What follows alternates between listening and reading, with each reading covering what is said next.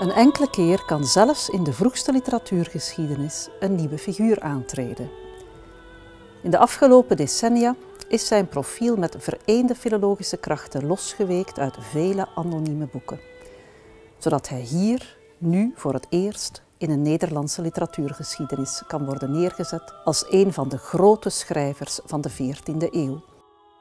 Een schrijver die niets anders deed dan uit het Latijn vertalen en met zijn levenswerk haast als een mol een indrukwekkend gangenstelsel gravend tegen weerstanden in. Zijn oeuvre omstreeks 15 teksten, een kleine 5000 bladzijden en een kleine 2 miljoen woorden. 10 boeken van het formaat dat de lezer hier in handen heeft. Het is een kolossale productie, veruit de grootste van één hand in heel de Middel-Nederlandse letterkunde. Twee keer zoveel als van Jacob van Maarland. En vermoedelijk zelfs zonder gelijke in welke middeleeuwse volkstaal ook. De vrucht van 35 jaar werk, nagenoeg dag in, dag uit. Ja, ik vind echt een uh, passage die heel illustratief is voor um, de boeken, de twee delen van Frits van Oostrom in de literatuurgeschiedenis, omdat het heel duidelijk een uh, literaire kwaliteit heeft, zijn manier van uh, vertellen. Hè. Denk ik meer, denk ik dat we mogen zeggen, dan de andere literatuurgeschiedenissen, de andere delen uit de reeks. En hij kondigt dat ook zo aan in de over, ouverturen, hè, dat hij uh, creatieve non-fictie maakt.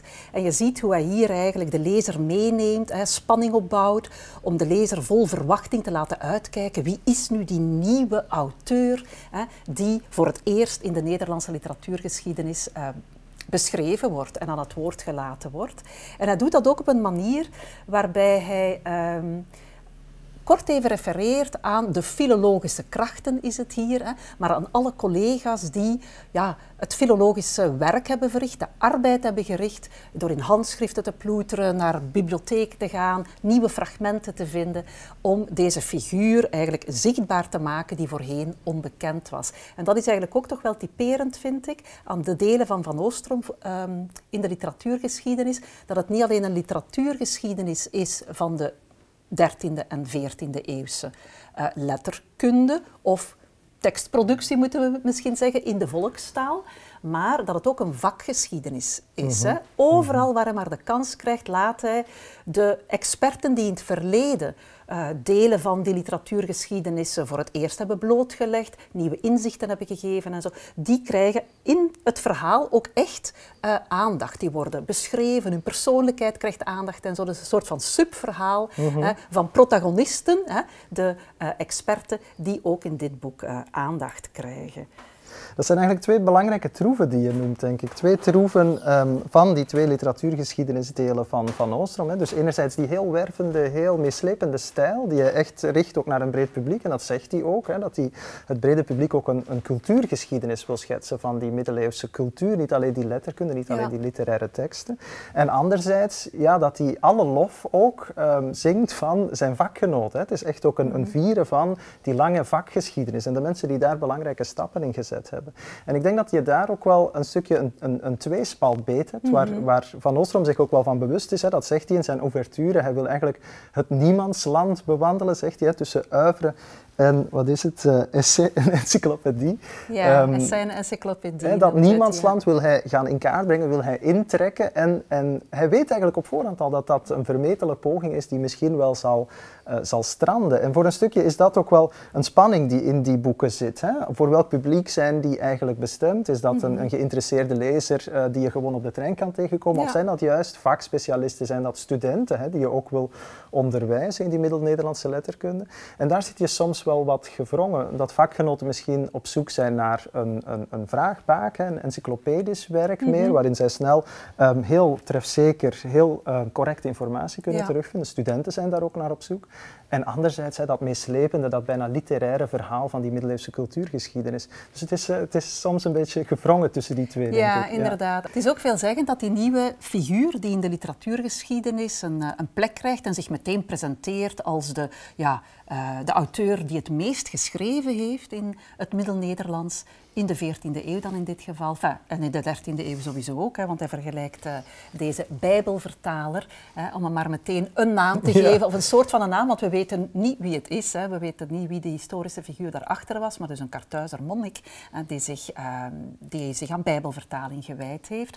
Dus, maar uh, het is eigenlijk veelzeggend dat het een vertaler is die eigenlijk geen creatieve teksten geschreven heeft, dat die eigenlijk zoveel pagina's krijgt in deze nieuwe literatuurgeschiedenis. En dat typeert natuurlijk ook deze delen van de literatuurgeschiedenis, dat het niet zozeer gaat om literatuur in de moderne zin van het woord, hè. Uh, teksten die men vandaag als voorlopers van wat vandaag literatuur genoemd wordt, en dan denk ik aan de Beatrice, mm -hmm, of aan mhm. bepaalde theaterteksten, um, poëzie, de lyriek van Hadewig, um, enzovoort, maar dat het eigenlijk alle teksten die in de volkstaal geproduceerd werden, fictie, non-fictie, um, teksten met didactische bedoelingen of louter didactische bedoelingen. Er wordt ook een heel hoofdstuk gewijd aan, de, um, aan een handboek door een chirurg, geschreven voor zijn zoon, die hem zijn, in zijn praktijk moest uh, opvolgen. Ja. Die krijgt ook veel bladzijden, dus je krijgt eigenlijk meer tekstproductie in het Nederlands, in um, welk genre dan ook. En dat is natuurlijk ook een vraag die men zich kan stellen. Hè. In de Nederlandse literatuurgeschiedenis moet het vak zich dan zo um, prominent profileren. Um, want er is eigen aan de medio-Nederlandistiek ja. om fictie en non-fictie allemaal te behandelen. Ja, Van Oostrom had zich ook, de auteur van deze delen, had zich ook meer kunnen toespitsen op wat we vandaag literaire teksten noemen. Maar dat is natuurlijk ja, een vraag die men zich kan ja. stellen, die hij zelf in zekere zin oplost, omdat, door te zeggen van het is een vakgeschiedenis en dus mm. neem ik alle teksten mee die in het vak ja. uh, centraals gestaan hebben. De, de vraag is ook wat er, wat er overblijft van die twee dikke delen als je Juist. alles wat vertaald is uit een andere taal of een bewerking is uit een andere taal, als je alle artesteksten weglaat, alle ja. didactische teksten, alle wat, wat al te religieuze teksten hè, die wij vandaag misschien eerder als non-fictie beschouwen, als je dat allemaal weglaat, dan hou je natuurlijk van die literatuurgeschiedenis weinig over. En andersom zou je kunnen zeggen, als we hier nu die andere literatuurgeschiedenissen van de vroegmoderne, de moderne tijd, die strikt op dat um, ja, moderne begrip van literatuur gericht zijn, hoe dik zouden die wel niet worden, hè, als je daar ja. ook met die, met die breed cultuurhistorische insteek ja. uh, gaat kijken. Inderdaad is dit boek eigenlijk een prachtige illustratie van uh, het socioliteraire paradigma dat de laatste decennia in de mediodynamistiek dominant geweest is. Ja. Uh, waarbij men vooral gaat kijken, die fragmenten die we vinden, teksten die in het Nederlands geschreven zijn, of ze nu literair zijn of niet literair, hè, uh, in welke context hebben die gefunctioneerd? Hè? Wie heeft dat geproduceerd, wie heeft dat gewild en daar een schrijver voor ingehuurd, uh, wie heeft dat gebruikt? En eigenlijk de teksten zelf krijgen dan wat minder aandacht, maar vooral eigenlijk ja, de context waarin ze ontstaan zijn.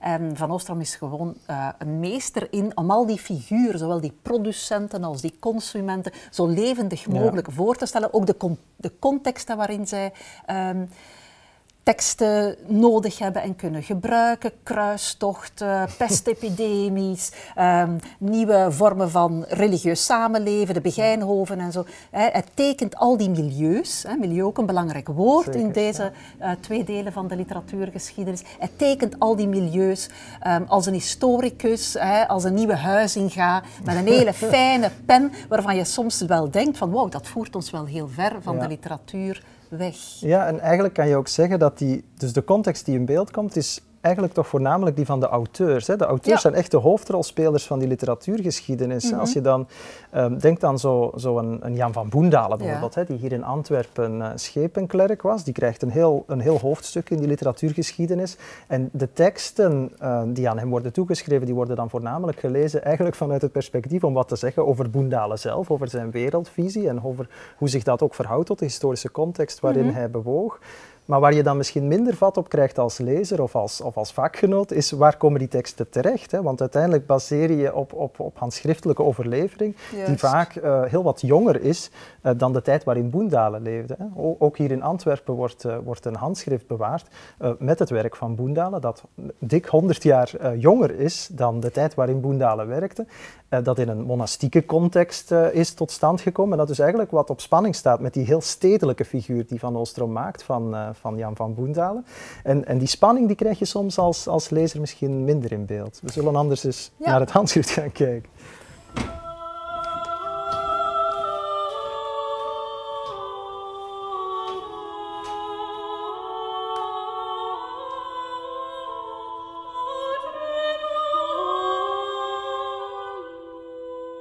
Dit handschrift is een bijzonder handschrift dat hier in Antwerpen wordt bewaard met um, de Brabantse geesten van Jan van Boendalen. Dat is een kroniek, dus een geschiedenis van het hertogdom Brabant. En dat is niet de enige kroniek die hierin zit. Er zitten er uh, drie in, een mhm. korte en um, um, een lange en dan fragmenten van een derde.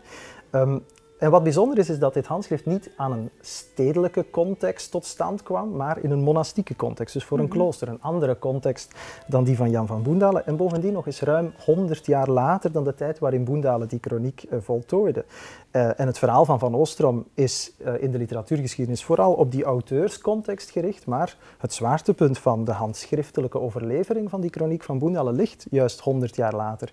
Is ook niet toevallig, want het hertogdom Brabant, waar het hier over gaat, gaat op dat moment op in een groter geheel, hè, wordt samen met andere gewesten in de Nederlanden opgenomen in de Bourgondische Nederlanden. Dus kennelijk heeft dat wat in beweging gezet. Wil men mhm. opnieuw die, die Brabantse geschiedenis uh, gaan, gaan herinneren, gaan verenigen, samenbrengen en dat belang van dat hertogdom onderstrepen.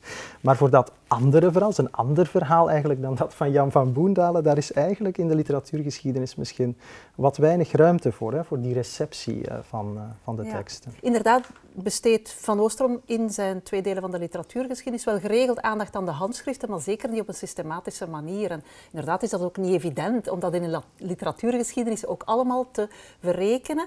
Alhoewel, als je de vakgeschiedenis wil eren, is die uh, new philology, zoals we dat noemen, mhm. eigenlijk die secundaire receptie um, die we, waarvan we uh, getuigenis hebben door de handschriften zelf, dat is wel een heel belangrijke benadering, die natuurlijk in de literatuurgeschiedenis misschien ja, niet voldoende gehonoreerd is kunnen worden door het feit dat de, ja, de literatuurgeschiedenis, de literatuurgeschiedenis inderdaad van productiecontext uh, is primair. Maar ik vind toch wel dat Van Oostrom ook, um, wanneer hij een auteur of een tekst behandeld heeft, geregeld aan het slot, wanneer hij dat dus afrondt, zijn verhaal daarover, uitzoomt ja, in de tijd en soms zelfs tot op vandaag, tot in de 19e, 20e eeuw. Hè, bij de mhm. Beatrice bijvoorbeeld, de legende de Beatrice, geeft hij heel mooi aan hè, wat het nachtleven, zoals ze dat dan noemen, mhm. geweest is. Hij verwijst onder andere naar die uh, beroemde vertaling van uh, Boutens. Eh, dat nachtleven van die middeleeuwse mm -hmm. tekst, hè, dat wordt um, ook heel erg internationaal ingekleurd. Hè. Je kijkt niet alleen naar, naar bewerkingen in allerlei andere literaire genres, bijvoorbeeld een opera van Hadewig, maar je mhm. kijkt ook naar vertalingen van Middel-Nederlandse teksten of receptie in het buitenland in latere eeuwen tot in het heden. Um, en tegelijk hè, gaan Medio-Nederlandici ook meer dan vroeger het gesprek aan met collega's in andere uh, taalgebieden, hè, die over mhm. gelijkaardige teksten werken of rond een bepaald thema werken. Hè. Bijvoorbeeld uh, de ecokritiek, bijvoorbeeld, daar vinden we dan elkaar op één thema en dan ga je met je eigen bagage aan, aan tekst, uh, achtergrond, ga je naar zo'n thema kijken met collega's uit andere landen. Um, en we hebben een aantal uh, studies klaargelegd die, uh, die precies die insteek kiezen. Ja. Hier liggen nu maar enkele boeken klaar. Je zou, je zou een hele selectie kunnen nemen, maar dit is een voorbeeld van waar we het over hadden. Uh, Beatrice de Wereld in de titel zegt het al zelf, gaat natuurlijk over hoe dat Middel-Nederlandse verhaal, dat prachtige Middel-Nederlandse verhaal, niet alleen in de voorbije eeuwen, maar tot op vandaag de weg vindt um, naar de wereld, naar het buitenland ook, in vertalingen, in bewerkingen enzovoort. Hè. Um, en een voorwaarde daarvoor om, om, die dialoog aan te gaan met, met het buitenland is natuurlijk dat we onze primaire teksten gaan vertalen. Hè. Dat gebeurt ook volop, daar wordt men zich ook uh, meer en meer bewust van, zoals je weet, velen. um, hè, dat dat primaire materiaal in het Engels, in het Duits, in het uh, Frans hè, zijn weg vindt uh, naar het buitenland, zodat wij als medio-Nederlandici het gesprek kunnen aangaan met literaturen waarin heel vergelijkbare dingen gebeuren. Dan kan je je afvragen als over 15 jaar een nieuwe literatuurgeschiedenis wordt geschreven waarin je ook die dialoog verwerkt, of je dan geen ander perspectief krijgt met nieuwe inzicht. Ja, inderdaad. De vraag is eigenlijk of zo'n literatuurgeschiedenis, of dan nog wel een Nederlandse literatuurgeschiedenis kan genoemd worden dan. Hè? Mij lijkt eerder dat deze uh, zogezegde nieuwe literatuurgeschiedenis, uh, waarvan Van Oostrom de eerste twee delen verzorgd heeft, dat dat een soort van sluitstuk is, uh, vroeg 21e eeuw sluitstuk van een 19e eeuwse droom, hè, die eigenlijk denkt vanuit ja, nationale literatuurgeschiedenis gelieerd aan één taal, maar dat we vandaag ja, in de sterk gemondialiseerde wereld, waar diversiteit, andere stemmen en zo, waar ja, dat natiegevoel gevoel nu toch onder druk komt te staan, zeker. Hè. Um, ook zoals je zegt, um, vanuit hoe dat er in het vakgebied op dit moment gewerkt wordt, uh, namelijk zeer internationaal en comparatief. Mijn aanvoelen is dat ehm, er geen nieuwe literatuurgeschiedenis komt. En dus het is gewoon fantastisch dat voor de medio-Neerlandistiek het sluitstuk die twee delen van Van Oostrom kunnen zijn, die eigenlijk ehm, een prachtig panorama bieden van de Nederlandstalige literatuur in de 13e en de 14e eeuw.